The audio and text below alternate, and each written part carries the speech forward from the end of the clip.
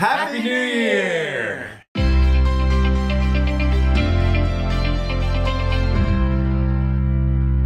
Hi everybody, Tom Peach with Tom and Cindy and Associates at Long and Foster. Today I'm here with uh, Susan Hall and Jim Patrick. Wanted to wish you all a Happy New Year. And we also wanted to thank you all so much for watching our videos. We can't believe it's been a year and this is actually episode 53. Yep, and we've got a lot of great stuff coming up this year. Uh, some new content, listing rehabs before and after, uh, happy hours in the Kingstown area, some quick tips.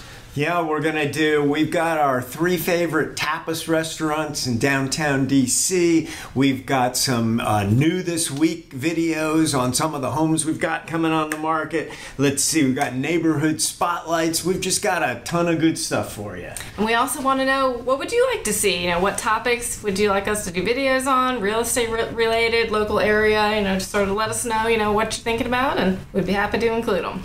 So, again, from our team to you and your families, we wish you nothing but the best for 2020. And uh, thanks again for watching. If you want to subscribe, press the red subscribe button, and we look forward to starting off with you next week.